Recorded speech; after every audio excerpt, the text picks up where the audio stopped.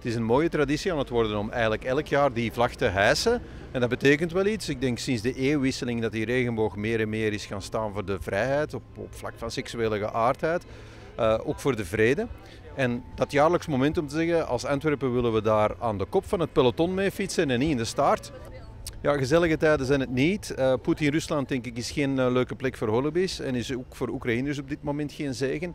En die twee die komen hier ook wel vandaag een beetje samen in een vlag voor verdraagzaamheid, een vlag voor vrede. Veel mensen van Oekraïne die hier uh, zijn, die trouwens ondertussen ook voor La Belle Maison werken. En zo blijft Antwerpen toch die gastvrije stad.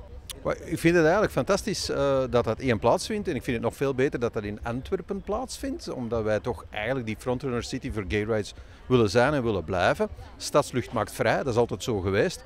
En zeker op vlak van gay rights moet dat, uh, moet dat zeker zo zijn. Ik vind het fantastisch dat dat aan de gevel kan gebeuren aan La Belle Maison. Waarom? Omdat wij heel sterk zijn op vlak van diversiteit en dat wij meegeloven in projecten die jullie realiseren. Die projecten staan wij volledig achter. En om die reden vinden we het belangrijk dat jullie hier vandaag aanwezig zijn in het centrum van Antwerpen. Om te laten tonen ja, dat er nog heel veel werk is. Niet enkel alleen maar via organisaties, maar ook vanuit bedrijven.